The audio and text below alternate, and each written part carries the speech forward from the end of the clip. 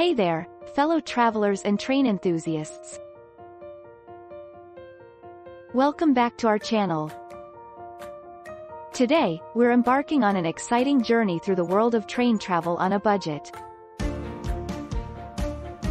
Trains offer a unique and eco-friendly way to explore, and we've got tips, tricks, and real-life stories that will help you experience the adventure without blowing your budget. Let's hop on board.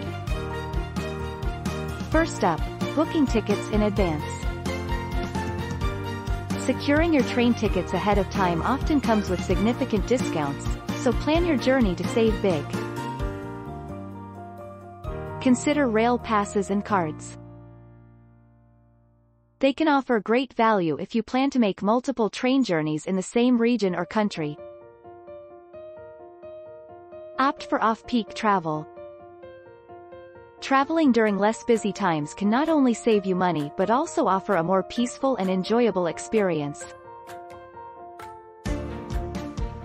Travel light and bring snacks.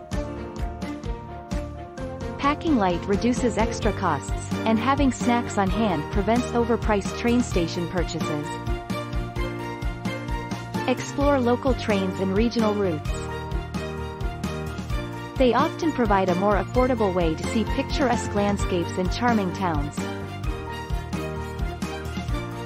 Consider sleeper or night trains. They save you the cost of accommodation for the night and maximize your travel time.